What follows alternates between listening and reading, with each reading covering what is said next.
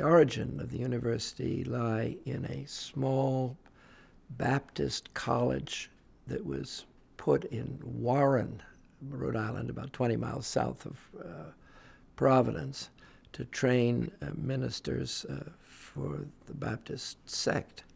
That charter was signed in 1764, and hence the 250th anniversary this year.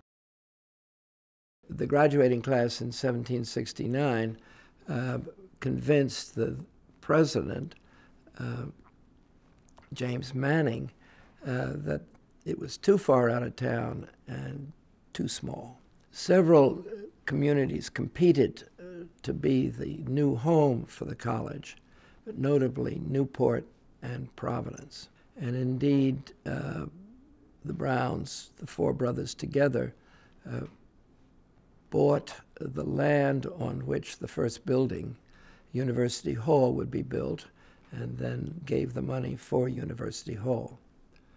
So you can say that we did not found the university, but we, as a family, or my ancestors uh, certainly, uh, provided the means by which the university became a viable institution.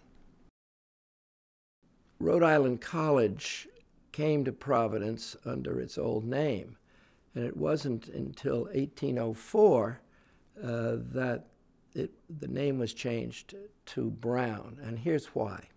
Time right after the Revolution was very tough for the young college. They weren't getting a lot of students. And so the then president of this college, uh, uh, put out a call. Anybody wants to give $5,000 to my college will get his name put on it.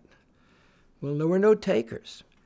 And actually, it was Nicholas Brown I, one of the four brothers, Johnny, Josie, Nicky, Mosey, who uh, said, We need to have a professorship of oratory. But it was his son, Nicholas Brown Jr., who gave the money uh, in 1804 uh, to establish a professorship of oratory and belles lettres, whatever that really means.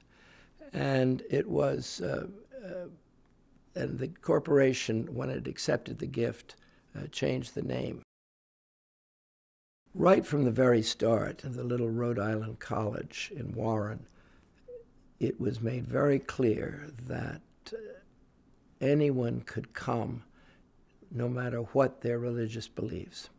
And this was interesting because uh, it was set up as a training ground for Baptist ministers. But on the, on the other hand, Roger Williams, the founder of Rhode Island, uh, was absolutely adamant that freedom of conscience should pertain. And Brown University has maintained that tradition down through the years. Uh, there has never been a religious test, as indeed there was at Harvard during that early years. Uh, and even today, though I'm not a graduate, my understanding is that the whole curriculum is set set up such that people can study what they want, when they want it, providing they fulfill certain standards. And that makes Brown, uh, I hear, very popular among the young one of the interesting sidelights of the whole slavery question uh, uh, was a major disagreement between John Brown, who felt slave, slaving was okay because it was the right of property, and his brother, Moses Brown, who was an abolitionist. Um, and there is no doubt that uh, the abolitionist uh, efforts of uh, Moses Brown were very effective in getting Rhode Island uh, to uh, be, in general, anti slavery.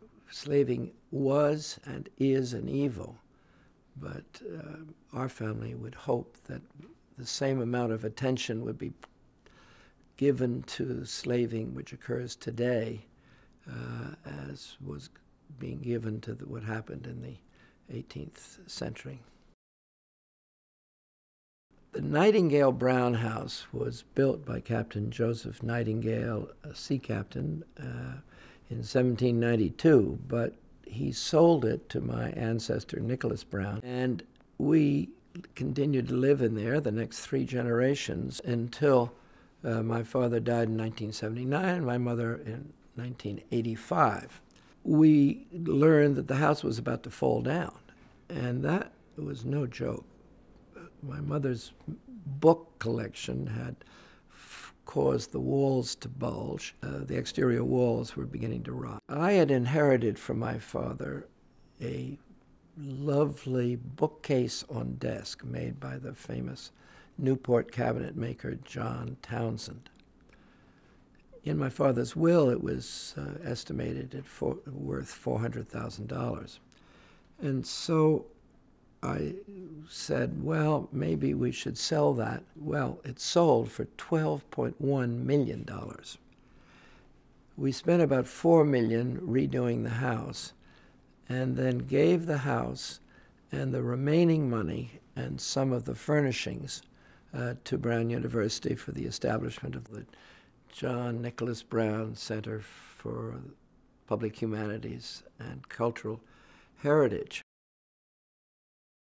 Another example of our family's involvement with the university is the Anne S.K. Brown Military Collection. Its origins go back to when my mother was 12 years old and had a passion for miniature soldiers, uh, tin soldiers. Uh, but when she married my father, who was a fine arts major, he asked the pertinent question How do you know that the uniforms painted on these soldiers are accurate? and he guided her into becoming a book collector. The books kept coming and coming and coming and were stuffed all over our house, and in fact caused the walls to buckle. Um, my mother, realizing what was happening, started transferring the books to the university's special collections, which are housed in the John Hay Library and she also gave an endowment in her will uh, to provide a curator for the collection. And today I think it's safe to say that that collection is foremost in the world.